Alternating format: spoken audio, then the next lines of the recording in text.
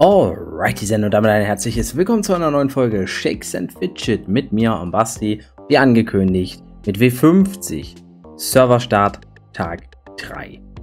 Wir stehen im Moment auf Stufe 32, haben noch grob 60 Alu, ne Quatsch, äh, da habe ich mich grob verrechnet, 100 Alu sind das ja, 127 äh, Alu bei den Dungeons stehen wir bei 9 von 10, 6 von 10, 3 von 10. Im Moment haben wir ein SA von 18,32%.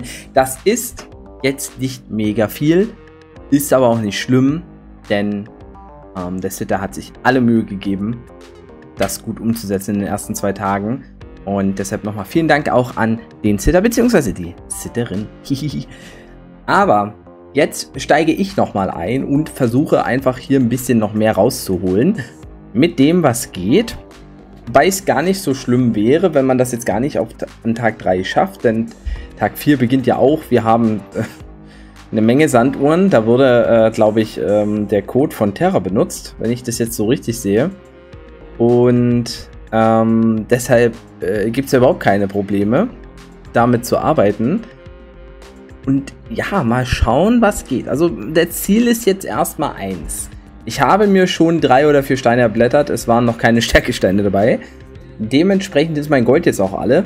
Das heißt, ich werde jetzt definitiv zwei Fliegen mit einer Klappe versuchen zu schlagen. Das kann ich natürlich nicht live im Video machen. Das müsst ihr ähm, euch jetzt denken, dass ich jetzt durch das SA klicke, klicke, klicke angreife. So, 5500, muss man mal gucken.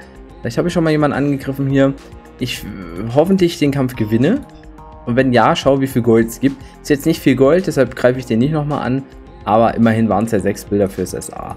Ja? Und wenn ich jetzt jemanden finde, der mir eine Menge Gold droppt, ja, zum Beispiel Stufe 30 Magier, kann mir viel Gold droppen, hat leider keins, schade. Hatte aber auch wieder sechs Bildchen für mich. Und so gehe ich jetzt weiter, weiter, weiter, weiter. Wir können gleich mal den nächsten Magier uns angucken, weil Magier sind tendenziell äh, zu handeln für mich. Aber es kann natürlich auch sein, ja, die haben schon Steine drin. Da muss ich auch ein bisschen drauf achten. Der hat jetzt keine Steine drin, aber einen großen Drang könnte auch gefährlich werden. Hm, ja, muss ich mir erstmal nehmen. Ich will ja auch nicht 3000 angreifen. Ich will hier unten angreifen, Kollege. Hier, DJ. Stufe 35. Let's go. Er hat leider nicht viel Gold, ja. Wir müssen mal gucken, ob wir irgendjemanden hier abfarmen können. Der hier, Basalka 19, hat 30 Gold. können wir gleich nochmal angreifen. Was? Ich habe verloren. WTF. Okay, er hat einen großen Trank drin. Und äh, ja, Magier macht ja auch doppelten Schaden. Dementsprechend. So, jetzt haben wir über 150 Gold und wir suchen jetzt ein paar Stärkesteine. Gleichzeitig SA-Bildchen und so läuft es jetzt die ganze Zeit weiter. Wen habe ich jetzt zuletzt angegriffen? Den hier greifen wir nochmal an, gewinnen wir nochmal 30 Gold, gewinnen wir.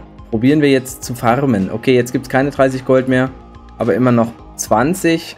Können wir nochmal einmal mitnehmen. Perfekt und haben wir gleich wieder das Gold zusammen für einen weiteren Stein, wenn dieser äh, schon wieder ein Geschickstein ist, ne? Uiuiui, ui, okay. Also es kann auch daran scheitern, das ganze Projekt, sage ich es mal so. es ist, äh, ja, das ist halt typisch. Blaue Steine sind am schwierigsten zu ergattern zum Serverstart. Ist zumindest mal so eine Kernaussage gewesen früher. Haben wir hier Stufe 31, Dämonenhunter hat leider kein Geld. Und so geht es jetzt einfach weiter. Und dann mache ich irgendwie nochmal einen Cut und dann gucken wir mal, was wir geschafft haben oder auch nicht. Vielleicht, ne, es ist ja auch immer eine Frage der Zeit, eine Frage der Motivation. Ja, ich weiß noch nicht, wo wir landen. so, da haben wir mal einen kleinen Break gemacht, denn wie ihr sehen könnt, habe ich jetzt mein SA ein bisschen höher gemacht, 27,64%. Ist jetzt nicht mega viel. Ich habe ein paar Leute auch abgefarmt ein paar neue Steine erfarmt, nochmal alles drin gehabt, ein paar Ausdauersteine bekommen und sogar einen Stärkestein, blauer Stein und einen roten Stein halt auch. Das ist erstmal in Ordnung. Ich habe jetzt mal eins gemacht. Ich habe das SF Game Tool benutzt von Ma21. Für mich eins der geilsten Tools, äh, der Dungeon Simulator. Denn der Dungeon Simulator, ich kann es euch jetzt so nicht zeigen, aber bei dem gebt ihr euren äh, Char an, was das ist, ein Berserker zum Beispiel in dem Fall. Ihr gebt euer Level an, ihr gebt eure Werte an, also den Stärkewert, Geschickwert, Intelligenzwert, Ausdauerwert, Glückswert, Rüstungswert, also die Zahlen. Und ihr gebt an, wie eure Waffe, was sie für Werte hat. Also hier in dem Fall minimal 32, maximal 84. Und dann wählt man den Gegner aus. Und wir haben jetzt hier drei Dungeons. Ähm, den kann man schön auswählen, ist auch mit Bildchen, da kann man nichts falsch machen. Dann klickt man auf Simulieren und dann sieht man, wie hoch grob äh, bei 20.000 Versuchen die Wahrscheinlichkeit ist, diesen mathematisch zu besiegen, denn Shakes and Fidget beruht ja auf Mathematik. Und anhand dessen ist es logisch oder klar, dass ich eigentlich noch nicht mal jetzt zwingenderweise Steine suchen muss, denn mit dem Gear, was ich habe, mit den Werten, die ich habe, kann ich die Dungeons schon theoretisch schlagen. Ich muss nur Pilze ausgeben. Und ähm, dass es sogar gar nicht so unwahrscheinlich ist, könnten wir jetzt möglicherweise hier sehen. Äh, ja, der sah schon mal gar nicht so übel aus. Aber der hat im Schnitt eine Win-Rate von 5%. Also 5 aus 100 Versuchen. Das war jetzt der vierte Versuch. Äh, oder so, keine Ahnung. Und es läuft. Es läuft. Wir können uns mal den Kampf angucken. Ähm, beim Berserker immer auch abhängig davon natürlich, wie oft er hintereinander angreift. Das war jetzt eine Dreier-Kombo. Nichts Besonderes.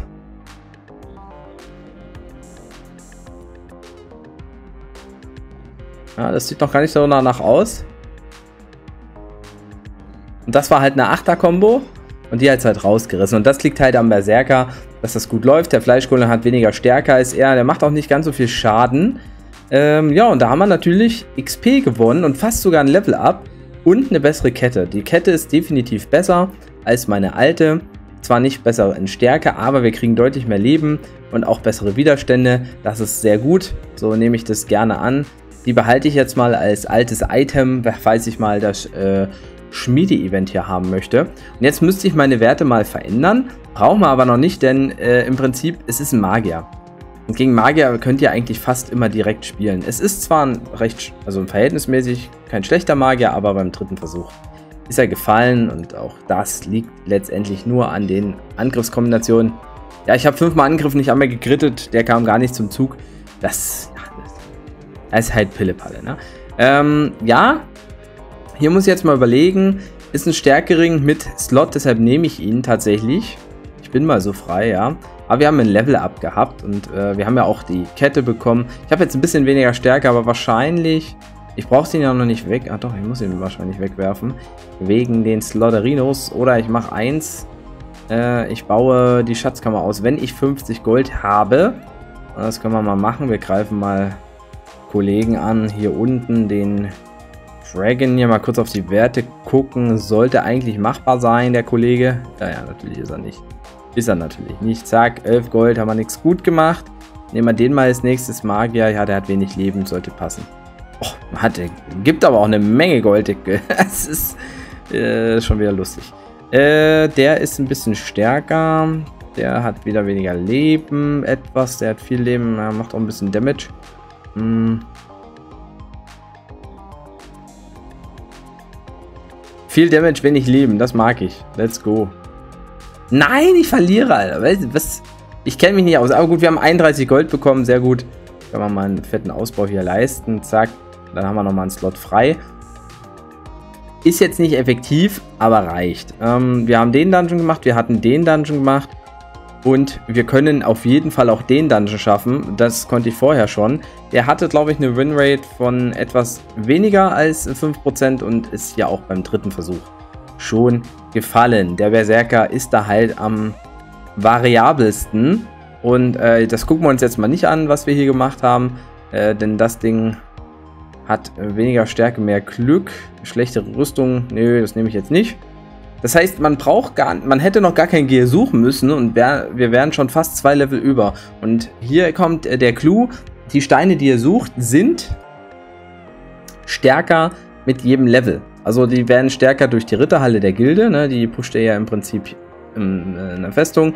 Die werden stärker durch das Level der Edelsteinmine, aber sie werden auch stärker durch euer Level. Und ab einem gewissen Level geben die so viel Gold zurück, dass diese 150 Gold für Stufe Edelsteinmine 1 gar kein Problem mehr ist. Und das ist auch der Grund, warum so viele Spieler schon sehr hohes Level an Tag 3 erreichen können, weil sie halt irgendwann keine Verluste mehr fahren. Sie können sogar Gold generieren, indem sie Steine suchen. Also sie geben Pilze aus, um Steine zu blättern und verkaufen die und nehmen sich das Gold für den Char, wobei ja, das ist dann auch nicht so viel Gold. Ne? Also es lohnt sich im späteren Spielverlauf definitiv, äh, wenn äh, man quasi für einen Edelstein schon mehr als die Hälfte eines Skillpunktes bekommen kann und ja, das nutzt der ein oder andere Spieler dann auch aus. Ja, damit, deshalb machen wir jetzt wahrscheinlich hier nochmal einen Break. Ich glaube, dass der Steintroll, ah ja, der Steintroll ist nämlich Stufe 48. Ich wollte gerade sagen, der Fleischgolem war äh, also selbst der hatte noch eine Wahrscheinlichkeit, die ich schaffen kann. Aber jetzt würde ich nochmal die Werte aktualisieren von meinem Char und würde daraufhin überlegen, gut, muss ich jetzt neu equippen oder nicht? Natürlich wäre es so, wenn ich jetzt hier die Steine reinlege, würden die Dinger fallen, aber die Steine verliere ich ja dann. Wenn ich sie einmal eingesetzt habe, ich bin ja noch nicht äh, beim Schmied, noch weit, bei weitem nicht beim Schmied. Deshalb sollte man sich gerade am Anfang wirklich überlegen, ob, wann man die Steine halt einsetzen will. Und natürlich ist klar, dass die Waffe extrem wichtig ist. Die Waffe ist für das Level gar nicht schlecht, die ich hier habe. Sie hat halt nur leider keinen Sockel, sonst hätte ich den Stärkestein da vielleicht reingemacht, weil dann wird es ja auch noch verdoppelt. Stärke ist das Wichtigste für den Berserker. Dadurch macht der Schaden und der Rest macht halt seine Fähigkeit. Und äh, ja, vielleicht machen wir äh, mal wieder einen Cut. Gucken mal, wie wir dann dastehen beim nächsten Mal. und falls nicht, ist das Video schon vorbei. Wie gesagt, ich kann nichts versprechen. so, und ohne dass wir unser Gear verändert haben, sieht die Folge jetzt so aus. Ihr seht, ich habe nochmal eine neue Kette bekommen. Werde die gleich mal einsetzen und die hier verkaufen. Aber was ist passiert? Der Dungeon ist gefallen. Und das sah so aus. Das war eine 5er-Kombo. Das war eine 2er-Kombo und ich bin gleich tot.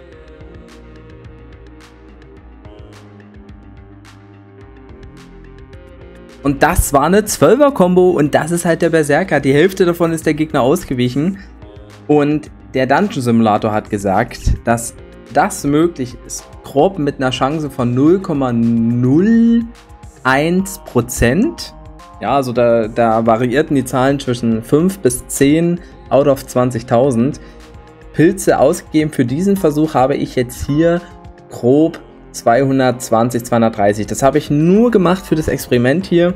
Hätte ich normalerweise dann nicht gemacht. Ich hätte wahrscheinlich schon dann zumindest einen Stein mal eingesetzt oder irgendwas verbessert. Aber trotzdem, es ist halt tendenziell möglich. Und ja, mit den XP sind wir halt natürlich auch auf Stufe 34 gekommen. Und dann kann man bald mal schauen wegen den größeren Drängen. Und das war es erstmal von mir. Zurück zum Studio. So, und da sind wir auch schon wieder immer noch auf Stufe 34. Die Stufe geht nicht hoch, aber es geht gezielt weiter. Denn mit Stufe 34 kann man die großen Tränke erblättern. Ich habe nach ungefähr 90 Pilzen sowohl einen großen gelben, großen grünen als auch großen blauen Trank bekommen, habe ich mich sehr gefreut. Habe überlegt, bevor ich jetzt weiter versuche, äh, den großen Trank zu blättern, den ich früher oder später eh noch blättern muss. Der ist zwar jetzt vom Gold her noch relativ günstig, dafür ist es unwahrscheinlicher, ihn zu kriegen. Und bei dem ähm, XXL Ausdauertrank würde ich dann wahrscheinlich auf die höhere Wahrscheinlichkeit setzen wollen. Habe ich halt überlegt, okay, wir haben ein paar Level gemacht, kann man ja eine neue Waffe nehmen und dadurch, dass wir noch keinen Stein drin haben, ist es für den Dungeon Simulator auch sehr entspannend, denn ähm, ich habe mal mit den Werten jetzt gerechnet, die ich habe und den Werten, wenn ich die Waffe dazu nehme. Oh, habe sogar vergessen, dass es nicht nur 10 Stärke on top gibt, sondern auch einen größeren Bonus durch den Drang. Das heißt, wir haben die Stärkewerte ersetzt, äh, die, die Waffenwerte ersetzt und wir kriegen 730 Boni an Stärke. Ich habe nämlich mit 726 gerechnet. Und wenn wir das nochmal hier nehmen, ich, ich zeige euch das jetzt doch mal fix für diesen kleinen Part. Und zwar ist es äh, hoffentlich jetzt zu sehen. Ne, ist es nicht. Lustigerweise schön. Äh, probieren wir es mal so. Äh, äh, es ist ein Black Screen, Leute. Wollte ich unbedingt, dass ihr den seht. Äh. So, jetzt haben wir es. Äh, ja, ich kann es mal so lassen, ist ja wurscht. Und zwar... Genau. Hier sind meine Werte. Und jetzt haben wir den Steindroll, ne? Und ich habe jetzt quasi im Prinzip diese Gewinnwahrscheinlichkeit. Vorher war ich bei unter 10 Versuchen. Allein dadurch, dass wir die Waffe gewechselt haben, ohne dass wir jetzt einen Stein reinnehmen. Das heißt, ihr könnt jetzt auch dieses Experiment wieder äh, nutzbar machen und einfach sagen, okay, let's go. Äh, äh, probieren wir mal den Dungeon. Das wollen wir jetzt auch machen. Denn überhaupt das Ziel ist ja, alle Dungeons zu schaffen, ohne Alu zu spielen, damit man dann äh, genügend Alu hat für weitere Schlüssel. Und das ist überhaupt Kernkompetenz für Tag 3. Das habe ich auch schon mal in einem Testvideo gemacht. Und na klar, ist es jetzt schon immer noch relativ unwahrscheinlich, den zu schaffen. Aber bei den Erfahrungen, die wir bisher gemacht haben, denke ich mal, ich habe jetzt nicht geguckt, wie viele Pilze ich am Anfang hatte, aber vielleicht schaffen wir den unter 100 Versuchen sogar. Das wäre sehr, sehr krass, aber es ist definitiv möglich. Ich mache mal den Ton aus, nicht, dass es rückkoppelt.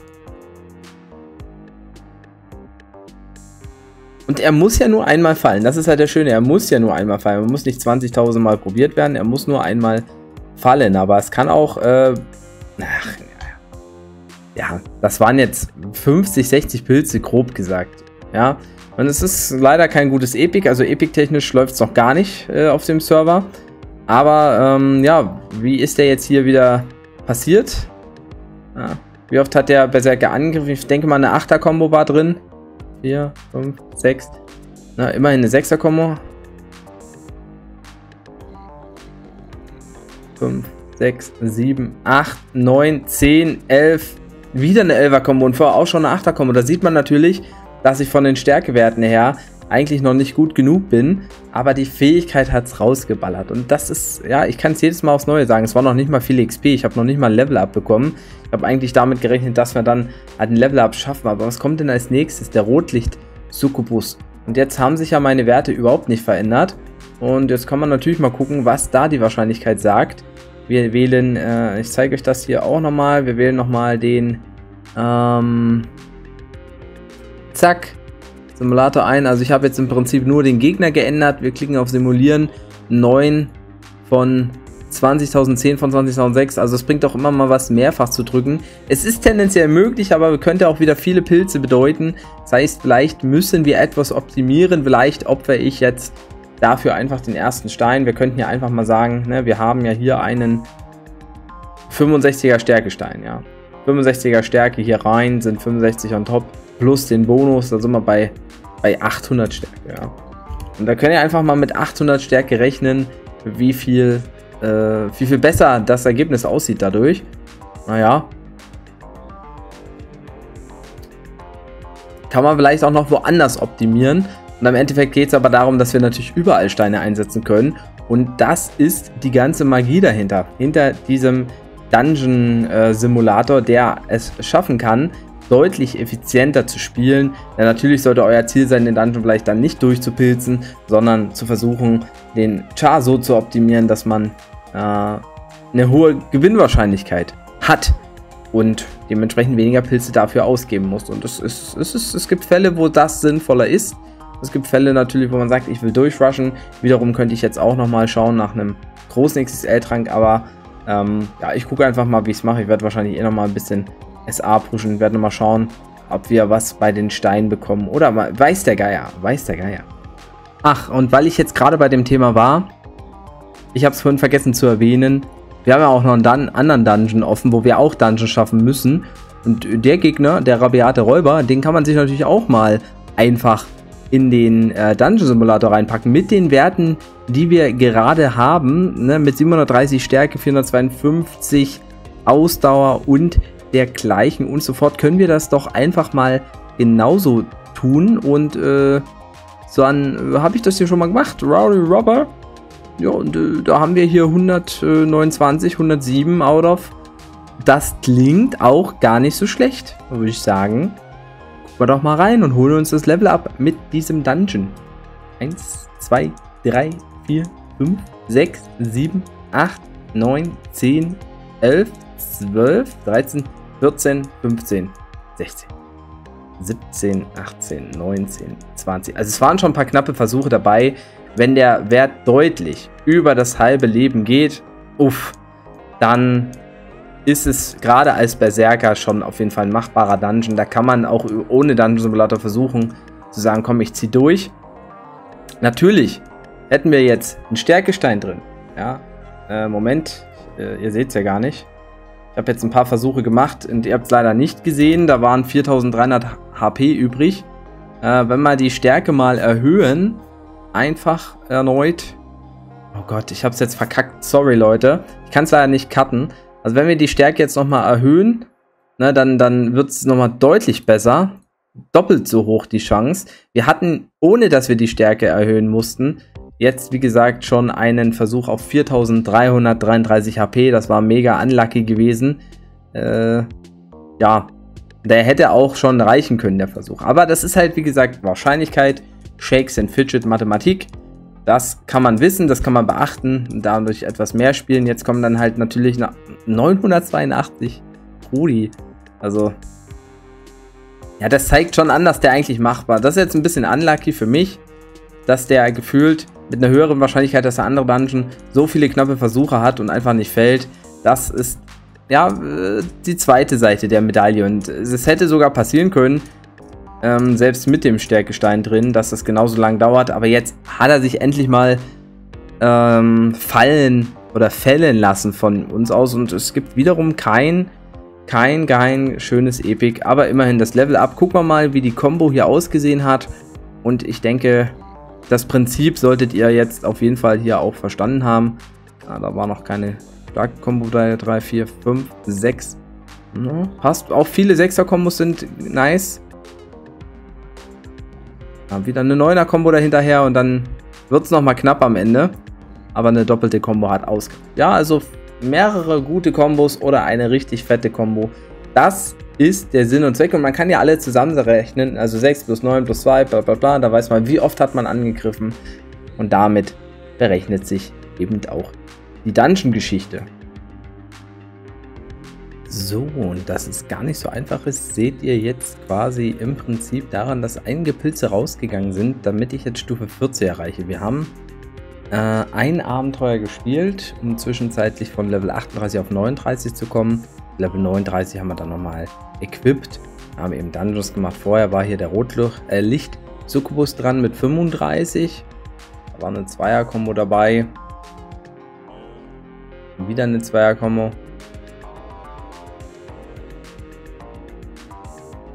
Und die Zehner kommen am Schluss hat es rausgerissen. Ne? Ich hatte nicht mehr viel Leben hier übrig an dieser Stelle.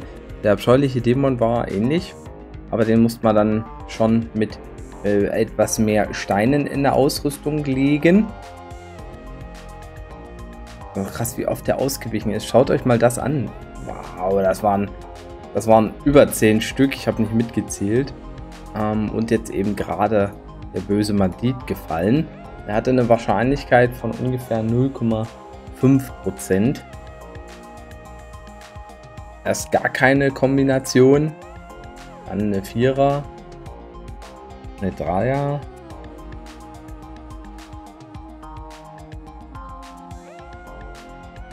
Eine schöne Siebener mitten im Grid halt auch dabei. Die Frage ist eben auch immer, krittet man oder nicht?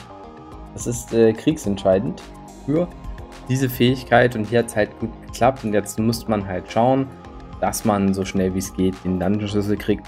Ich würde halt auf jeden Fall kleine Quests nehmen, wenn ihr den Dungeon-Schlüssel sucht. Umso mehr Quests habt ihr tendenziell zur Verfügung und es sollte ja eh nicht ganz so lange dauern, also dass man jetzt hier keine hm, keinen Verlust fährt normalerweise. Ja, das sollte sein. Und ich kann euch nur empfehlen, macht es hin und wieder wählt euch neu ein. Das Gefühl, dass das was bringt. Also jetzt natürlich nicht bei einer vorhandenen Quest, aber bei einer neuen Quest kann das was äh, bringen. Tja, Vorführeffekt oder nicht? Man weiß es nicht. Aber der Schlüssel war drin. Jetzt können wir den öffnen und jetzt haben wir hier halt ein paar etwas einfachere Gegner. Was heißt einfacher? Ja, etwas niedrig geleveltere Gegner. Ich hatte ja gerade einen 64er erwischt. Ähm, die XP nehmen wir natürlich gerne mit. Zack, das ging auch recht fix. Bisher immer noch kein Epic-Glück so richtig. Jetzt haben wir ein Epic, ja, was heißt leider, wieder eine Kette. Ähm, natürlich schön, dass es ein Upgrade ist. Aber wäre noch schöner gewesen, die woanders zu haben irgendwie. Jetzt müssen wir uns eben damit abfinden, und hoffen, dass der nächste Dungeon vielleicht noch mehr bringt. Oh, ein Toilettenpapier. Jawohl, das war ein First Try. First Try ist uns immer lieb. Ja, das zum Beispiel auch ein schönes Item. Schöne Verbesserung. So kann es weitergehen. Jetzt brauche ich natürlich einen Stein. Jetzt haben wir auch wieder ein bisschen Gold bekommen. Sind im Level gestiegen. Jetzt kriegen wir sogar einen Stärkestein. Ah, da, da gucken wir mal, ob ich mir den aufrechterhalte. Intelligenzstein. Geben jetzt 5 bis 6 Gold mehr als vor zwei Leveln. Oh, zwei Stärkesteine bekommen. Sehr gut. Kann nochmal wichtig werden, hinten raus. Hm. Was haben wir jetzt hier für einen? Den Schattenalligator. 68 First Try gelegt. Sehr gut. Da geht es auf 43. Ja, das geht dann halt fix. Ne? Wenn man ein paar Dungeons nachholt, die XP, die man bekommt, ist halt ein schönes Level. Hat hier direkt auch zum Level Up gereicht. Das Item ist nicht so nice. Aber danach mal drüber. Jetzt wird es wieder ein bisschen spannender. 74er, hier habe ich den 70er. Hier habe ich den 76er. Also für Krangeist ist auf jeden Fall dran als Stärkegegner. Hier fehlt mir jetzt noch äh, einiges an Stärke.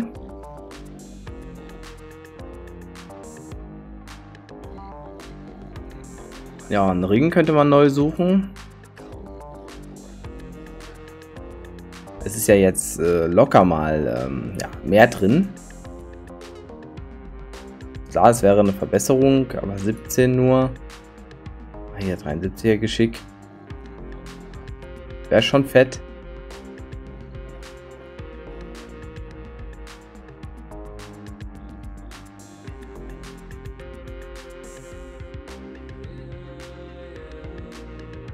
Er Ring, nee, den brauchen wir doch nicht.